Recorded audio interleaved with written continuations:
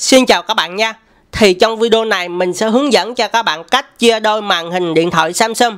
Rồi bây giờ thì mình sẽ tiến hành hướng dẫn cho các bạn luôn. Bước đầu tiên á Thì à, các bạn vào cái ứng dụng nào đó mà các bạn muốn chia đôi nha. Ví dụ như là bây giờ mình muốn vào Youtube đi. Mình bấm vào Youtube này.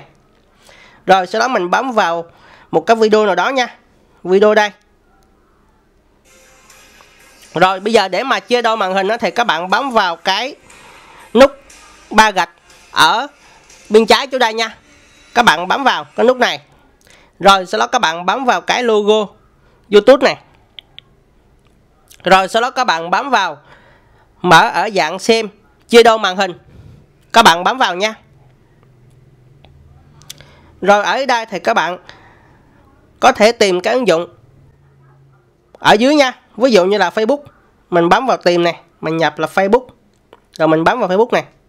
Đó vậy là mình vừa có thể xem YouTube này vừa có thể lướt Facebook mình có thể chia đôi màn hình trên điện thoại Samsung thành công Việt Nam Hòa đã đến một trận đánh gian danh trong quân sự và người chỉ huy trận đánh đó là thiếu tướng Lê Minh Đảo.